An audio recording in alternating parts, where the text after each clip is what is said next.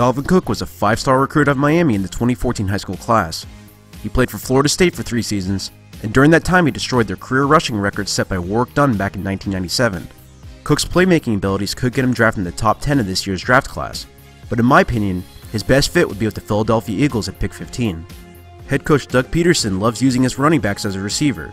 Cook could fit that Darren Sproles role in the offense based on his incredible ability to catch the ball out of the backfield.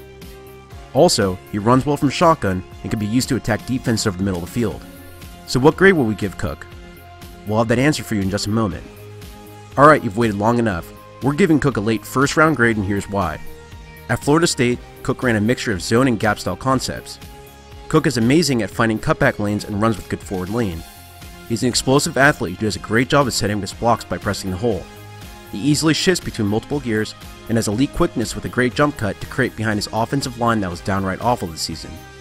If a team gives him the edge on a run, he's way too explosive not to take advantage of it. With that in mind, that's one of his weaknesses. He consistently tried too hard to get to the edge or took a non-existent cutback lane instead of taking the dirty play. He also had 13 career fumbles, and my scouting needs to do a much better job of holding the football with both arms through contact. While he has excellent balance to string back-to-back cuts together, I have never seen someone trip themselves more often than him. He falls to the ground at least once per game on his own accord. Out of all the running back prospects I've seen in the past few years, he easily has the best hands from the backfield I've scouted. FSU has also used those hands as wide receiver, but he was somewhat inconsistent where he wouldn't secure the football before he set up his first cut.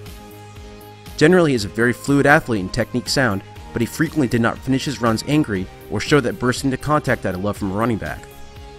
Since high school, he's had three shoulder surgeries, and in 2015 he was hampered by a reoccurring hamstring injury as well.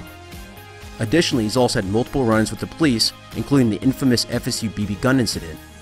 He's also had citations for animal mistreatment and a robbery and weapons charge that was eventually dropped. I obviously don't have all the details, but the risk from an outsider's perspective at least is warranted. Now this grade of a late first is obviously lower on most people's boards considering his rare abilities, but we want as little risk as possible with our first round selections. For teams that will feel comfortable drafting him, it is in my strong opinion that he fits a zone stretch offense the best, or an offense that will use him as a primary receiver out of the backfield. From a pro comparison standpoint, I think Jamaal Charles of the Kansas City Chiefs fits him the best. Charles was a speed back out of Texas and had a history of fumbles. They both have an exceptional ability to start and stop the setup blocks, and with the quickness to match the cut.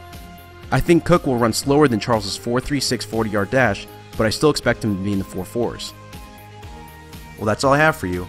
If you like this video and you want to support the channel, feel free to follow the links to my PayPal and my Patreon accounts.